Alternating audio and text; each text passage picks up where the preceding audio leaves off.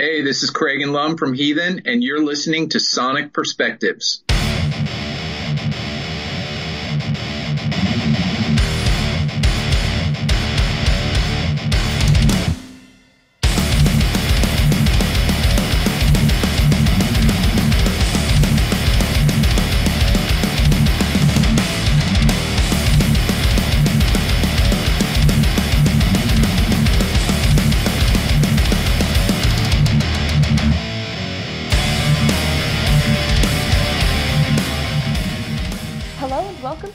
Interview with Sonic Perspectives. My name is Samantha Buckman, and today I am here with Kragen Lum, songwriter and guitarist from thrash metal band Heathen. Returning with their first album in 10 years, titled Empire of the Blind, it looks like this Bay Area thrash band is ready to make their reappearance on the scene. It is awesome to have you here today. And like I said, it's been about a decade since fans have heard anything from Heathen. So what exactly makes Empire of the Blind so special and makes you excited to get it out there? Well, um, you know, it's just been a long time uh, coming for getting a new album done. Uh, we started the writing process back in 2012 uh, when we first signed with Nuclear Blast. It's great to finally get the beast off our backs, so to speak. Uh, we were all really, really happy with the the way that the album came out, and we just can't wait for people to hear it. So, considering there was almost 20 years between the second and the third album, and now there's 10 about 10 years between the third and the fourth album, what qualities makes Heathen so timeless? I, I think they, they have a different sound. I mean, I, I'm thinking from a fan perspective when I heard the first two records, the band had this uh, sort of unique sound to it. It's an, a different mixture of elements, I think, than a lot of the other thrash bands and also have a, a, melodic vocalist in David White that can sing almost anything. I think the variety uh, of of what this band does is great. Uh, I think in a lot of ways the classic albums that we grew up listening to and and really sort of loving had a lot of variety and a lot of different elements in them that took the listener on sort of a, a journey or a roller coaster ride throughout the album. And so, you know, this band has kind of always, always done that. And while we haven't uh, consistently released new albums on a regular basis, we know that when we do release something, it has to be great. And as Lee would say, fine wine takes time. What would you say the main ties are between Empire of the Blind and the prior Heathen albums, both the more recent one and the older ones? Uh, well, the variety that I mentioned is definitely something that's kind of continued throughout. I mean, even from the very first Heathen record, um, a song like World's End had some sort of almost progressive qualities or what people call progressive. This new album, Empire of the Blind, is is sort of a the next step in the evolution of the band. We're sort of taking all of the elements that the band does and that we feel the band does well and sort of pushing them to the extremes. So, or some of the fast songs are faster, some of the heavy songs are heavier. The melodic stuff is maybe a little bit more melodic. We just write what comes to us naturally and and I think the band always has. You know, they were not afraid to uh, do different things, um, to do ballads or you know different types of songs, and I think that that it, it makes for a really cool album listening experience, and that's that's sort of continued throughout the band's history. I think with all of the all of the albums. You've mentioned this variety, and especially between the melody and the speed and those progressive tendencies. Which tracks on Empire of the Blind really highlight these the most? And I guess even if they're like broken apart, which ones really bring out these qualities the most? They're all different from each other. You know, the songs all stand on their own and then work collectively uh, uh, in sort of in the running order that they're in as a as a, a great listening experience. If I had to pick a song or or multiple songs that really highlight sort of the different things that the band does. The title track, it has this really cool epic feel that almost harkens back to like 70s era Rainbow, like the song Stargazer or something, where it just has this cool sort of epic feel. There's a, a middle section in that song that sort of also harkens back to like the classic um, dual lead guitar stuff um, that that uh, we grew up really enjoying listening to. A song like "Sun in My Hand" is definitely more um, I don't know, it, it's it's maybe a little bit more accessible, but at the same time, it's it's got this cool mixture of like you know dark imagery in the lyrics, but ultimately like a positive message.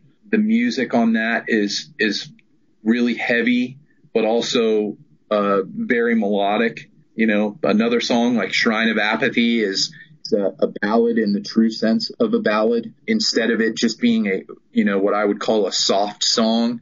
It's got real depth and, you know, meaning in the, in the lyrics and the, the way that the music sort of, uh, works with the, with the vocals. It, the intention is to have you feel something, kind of like when you used to hear the classic ballads of the 70s, you know, Dream On by Aerosmith or even Stairway to Heaven, you know, those kind of things. A Fine Red Mist is the instrumental on the record, where we have guest appearances from Gary Holt and Rick Hunolt of the original Exodus H team, and also um, Doug Piercy, uh, who used to be in Heathen. I think everybody's probably heard The Blight by now, uh, which is a fast song, but it's also um, really melodic. So I, uh, there's a lot of that throughout the album. You know, I mean, I could go through each track probably and tell you each have that variety. Each song has variety in it in some ways too. So the variety is definitely something that makes you guys really unique. But at the end of the day, you're very much associated with thrash acts. Uh, obviously, Exodus being the primary one, and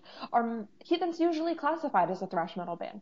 So how do you balance that thrash imagery when you're songwriting? And do you ever feel that you're going too far away from that?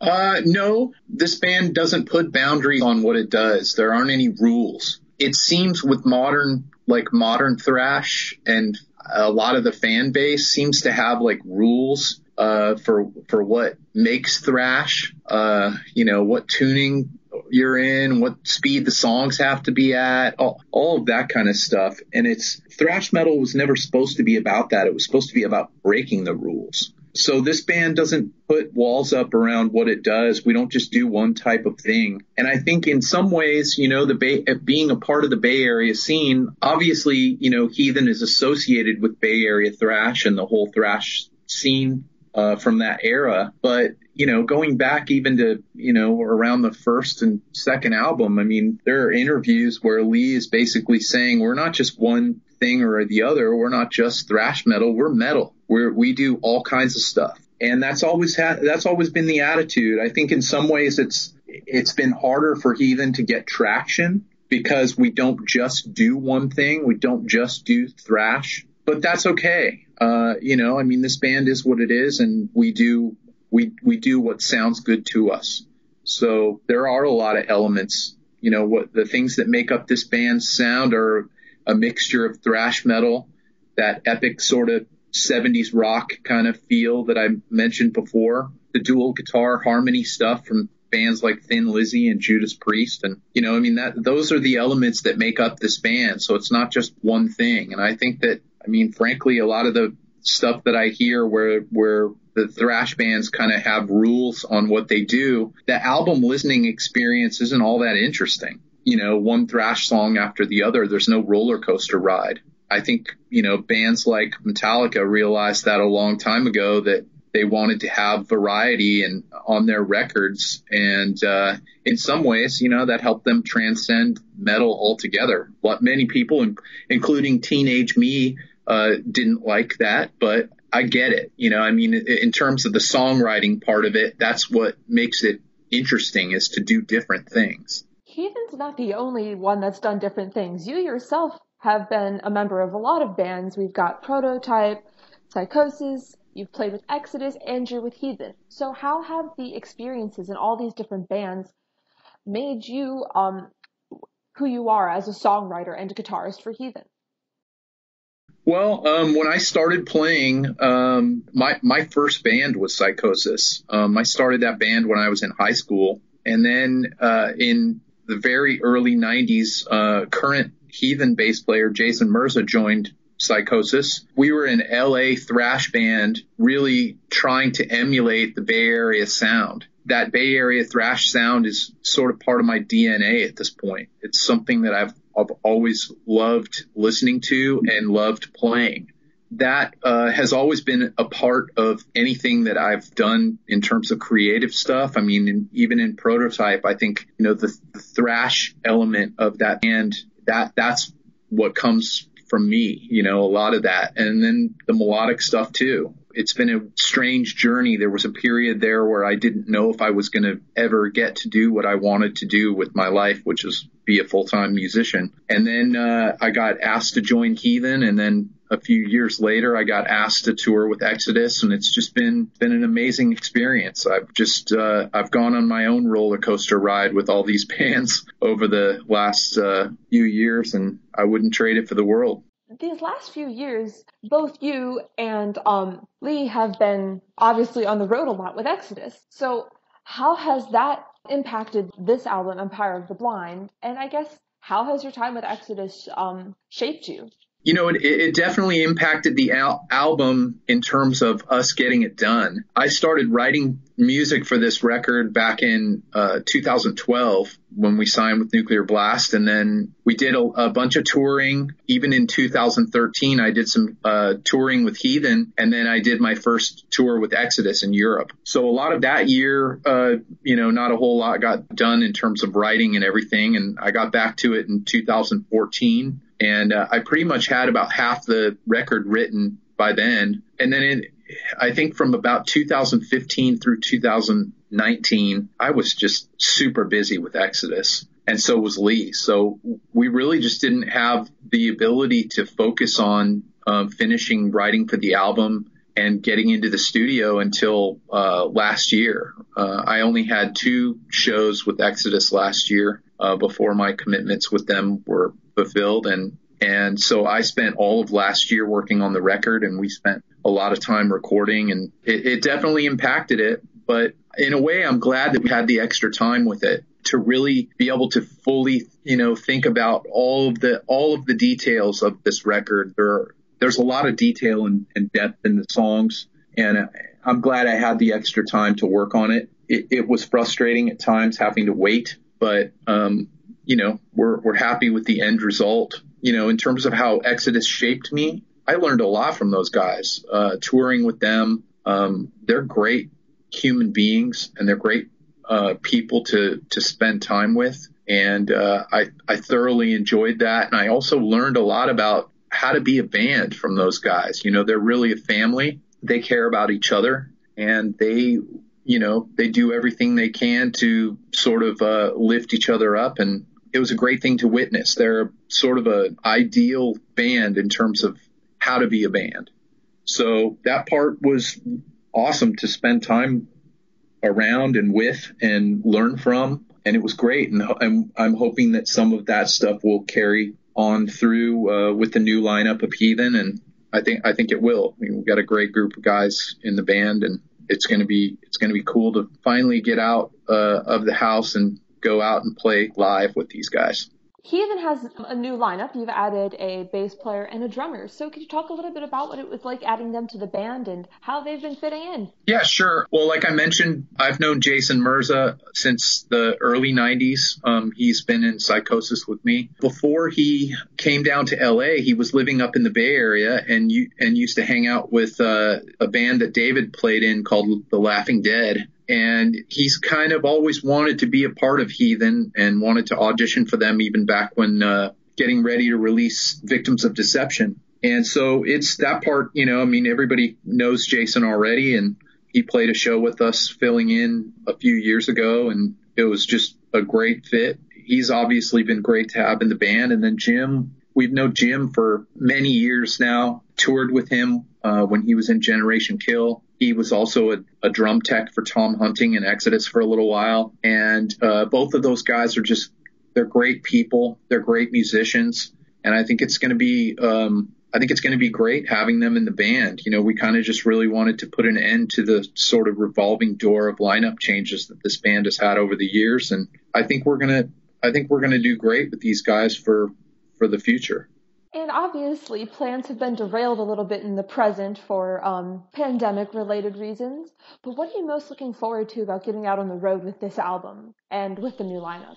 Uh, you know, pl- playing live and connecting with the fans. I think that's the great part of touring. sometimes those smaller shows where you can really connect directly with the fans in the front row. And I mean, the, those are sort of special moments in, in touring and, you know, playing live. And I think that's, that's what we kind of miss, um, for Heathen, you know, being able to play the, the Heathen songs live. It's been a few years. Um, obviously we've never played any of these, uh, new songs live and, uh, it's going to be, I mean, some of them will be a little bit of a challenge. There's, there's a lot of guitar work on the record. So we'll have to see which parts get get replicated live. But I think just that and just going out and having fun, you know, having fun with each other, having fun with the with the fans and and getting to play in some great countries and and venues. You know, we're just really looking forward to getting back out there when all this uh, pandemic stuff finally goes away. In terms of translating those songs to that live environment, you did mention that there is some more um, complex guitar work on there. And obviously, that definitely adds to the sound of the album. Do you have any songs that were particularly challenging to write, or songs that you are, I guess, most proud of um, seeing that final final version? Um, yeah, I mean, in terms of of challenging, the songwriting part of it wasn't necessarily the challenge. It's it's the fitting all the layers that are in there together and making them work. So on the Blight, for example, the chorus in that song has uh, four guitar parts going at once and then there's a vocal melody and a vocal harmony. And getting all those to kind of work with each other and still be catchy was tricky. But I, am glad that I was able to sort of work it out. It, it, ended up sounding really cool. I'm really proud of the way that song came out. Empire of the Blind, that song, uh, the, there's there's a second guitar part or layer that sort of goes throughout almost the entire song. That song was the last one uh, that was finished for the album. And when that second guitar part was added, it took the song to a whole different level. It was a cool moment when I started working on that extra part. I didn't know where it was going to go, but it, it, really adds this extra layer of depth and um, another dimension to the song, and it gives it this really cool, epic sort of vibe through through the whole song. And I, I, I really like that. I mean, I'm I'm really proud of that. It's great to hear about the attention to detail that went into the instrumentation and the songwriting, but I was wondering if you could elaborate a little more on the concepts behind the album, like the lyrical concepts and the message that you're putting out with Empire of the Blind. Yeah, sure. Um, there are sort of two separate sets of topics, I would say, on the album. So there's sort of the social political stuff, and then there's some some more uh, personal types of lyrics the social political stuff, um, a lot of it sort of revolves around how our news media and social media are being infused with propaganda, basically being used to sort of manipulate the population um, and get them to feel a certain way or another uh, about various topics. We we see a lot of that here in the United States and it's kind of uh, you know it's kind of concerning when you're when you're watching something that's called the news and it's supposed to be fact. Here, at least, we don't know what's fact and what's fiction a lot of the time. Much of it is there's some kind of, uh, you know, political agenda. Uh, it's skewed towards one side of the political fence or the other.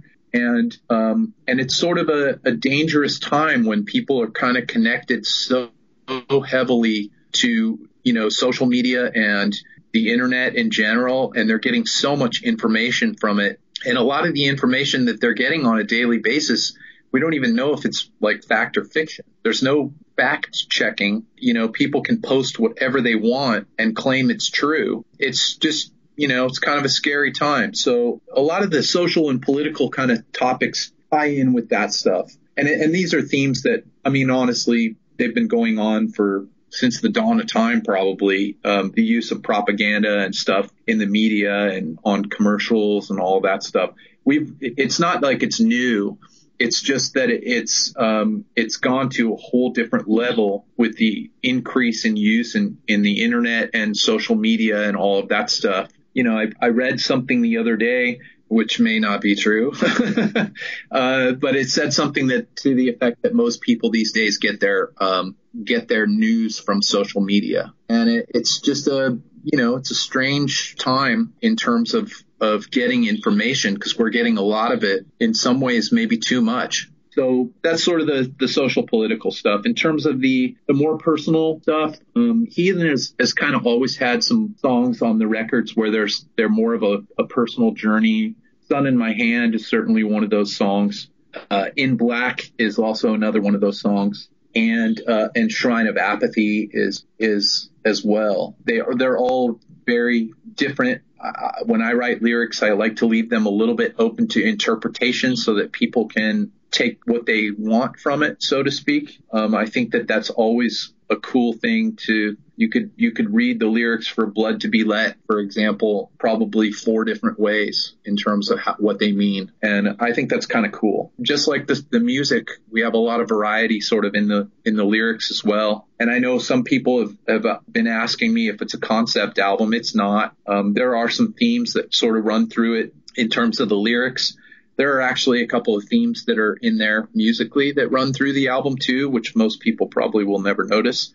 But, you know, we just like to have a lot of sort of variety within the, the album, even with the lyrics. Yeah, for sure. I um, really enjoyed hearing just how much work went into this album. Thank you so much for your time, and I really appreciated all of your detailed answers. Awesome. Well, thank you. I really appreciate the interview, and I'm glad you you liked the album and everything. And you know, if you need anything more in terms of information or, or have additional questions or whatever, feel free to just let me know or, or Kristen at Nuclear Blast. Take care. Bye bye. All right. You too. Bye bye. You just heard an interview with Kragen Lum from the thrash metal band Heathen. Heathen's new album, Empire of the Blind, will release on September 18th. For more interviews like this one and much more, make sure to follow Sonic Perspectives on Facebook and Twitter and subscribe to our YouTube channel. Closing out today is a song from Heathen's upcoming album, a song called The Blight.